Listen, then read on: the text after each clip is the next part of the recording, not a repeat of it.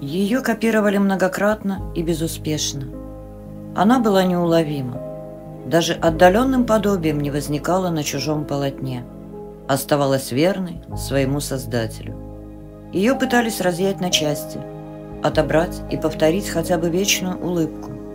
Но на картинах учеников и последователей улыбка выцветала, становилась фальшивой, погибала как существо, заточенное в неволю. Такие эпитеты, как сверхъестественный, загадочный, неизбежны, когда говорят о Джаконде. Да и сама женщина, спокойно сидящая в кресле на фоне фантастического пейзажа, незнакомка. До сих пор неизвестно, перед нами портрет 26-летней жительницы Флоренции Монны Лизы Герардини или нет. А ее портрет и портрет мужа, который якобы тоже написал Леонардо да Винчи – невозвратно утерян. Называются другие имена – женщин просвещенных и именитых, известных своей эпохи, но называются недоказательно. У скромно одетой женщины, изображенной на портрете, спокойный, притягивающий взгляд, убегающая и вновь возникающая улыбка. Голова покрыта тончайшей вдовьей вуалью, чудесные, мягкие, Удивительно женственные руки замыкают фигуру. Она некрасива и в то же время прекрасна. Она печалится, но не страдает.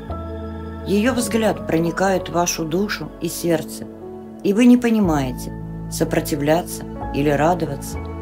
Джаконда смотрит с тихим, лукавым, сожалеющим торжеством, словно уверена заранее, вы не устоите перед ее умом и обаянием – вы обязаны понять возвышенную печаль или изысканную утонченность ее души. Она многолика. Запомнить ее, унести в памяти невозможно. Остается только одно единственное впечатление. На каждое свидание она приходит иной, в зависимости от вашего и ее настроения. Перед вами живой портрет – о том писал еще Джорджо Вазари, видевший картину в ее первозданной красе. В этом лице глаза обладали тем блеском и той влажностью, какие мы видим в живом человеке. Всякий, кто внимательнейшим образом вглядывался в душку шеи, видел в ней биение пульса. С той поры картина потемнела и покрыла сетью трещинок, но по-прежнему во внимательных глазах пульсирует жизнь и не исчезает улыбка. Существует предположение, что в Джаконде художник запечатлел свое душевное состояние, свою идею, свое мировосприятие. Ее высокий, чуть сдавленный лоб, увеличенный почти полным отсутствием бровей, называют лбом да Винчи. Конечно, художник задавался вопросом, проявляется ли сознание в движениях. И как будто он сказал портретом, «Я не тот, за кого себя выдаю. Вот какой он я, настоящий». Он обращался прежде всего к современникам, о которых сказал слова столь язвительные и резкие. Эти люди, наряженные в дорогие одежды и украшенные драгоценностями, обязаны природе слишком малым – ибо только потому, что они имеют счастье носить одежду, их можно отличить от стада животных. Гений да Винчи называли легким и подвижным, а жизнь неуловимой. Подвижным – да, легким – вряд ли, иначе исключительно могучий организм не сдался бы столь быстро в борьбе с болезнями. А неуловимой свою жизнь он сделал сам – вечным странником скитался в поисках теплого угла, часто менял покровителей, зная их ненадежную устойчивость и не видя существенной разницы искал лишь верного укрытия для работы. С ним слуга, два ученика, холсты да библиотека, состоящая из 30 любимых книг. Его жизнь не омрачалась нечестными поступками, как и не отличалась поступками героическими. Он не был революционером, не протестовал, не восставал, стремился обеспечить свою старость, в чем не очень-то преуспел. Но вся его деятельность, подвижническая работа, даже сам факт существования несли в себе революционное начало. Он постоянно рождал новое, неведомое, несущее дух переустройства. Его называли великим магом XVI века, а он провозглашал «О, удивительная, изумительная необходимость! Ты заставляешь своими законами все действия проистекать кратчайшими путями из их причин. Вот настоящие чудеса. Несмотря на свою придворную жизнь, великий художник любил и ценил свободу. Он покупал на рынке птиц, дабы выпустить их из клетки на волю. А что касается работы, когда это казалось ему необходимым, то по свидетельству Банделла от восхода солнца до темного вечера не выпускал из рук кисти.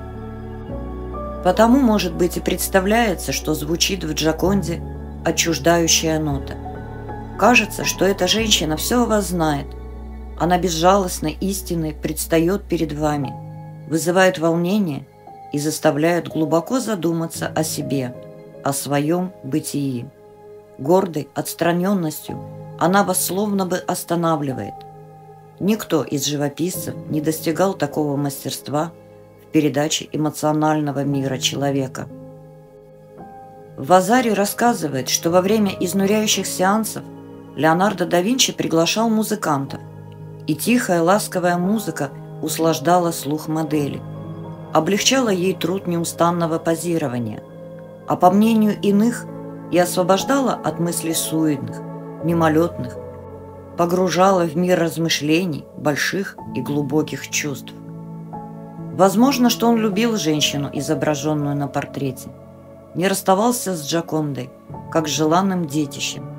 А возможно, произведение позволяло воспитывать себя, совершенствовать до бесконечности, могло расти вместе с ним, впитывая целые миры идей. В картине отразились вера и сомнения – скепсис и раздумья об быстротечности жизни. Картина далеко ушла от юности Леонардо да Винчи. В ней нет следов безоблачного оптимизма. Была ли таковой его модель на самом деле? Надежда раскрыть эту загадку, увы, утеряна.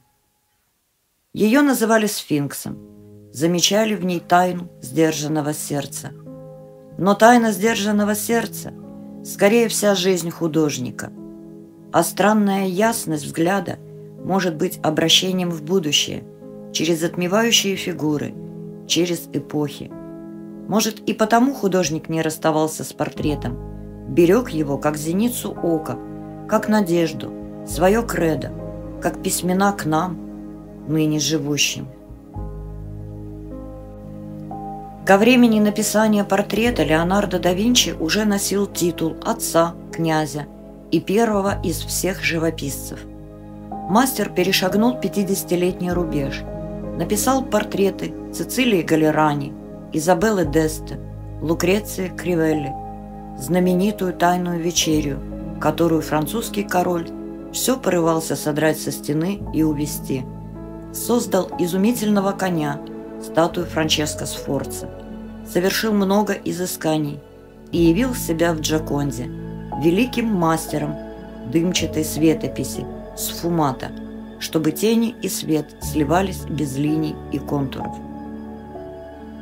Когда смотришь на Джаконту, глаз не ранится о грубый мазок или зазубрину линии.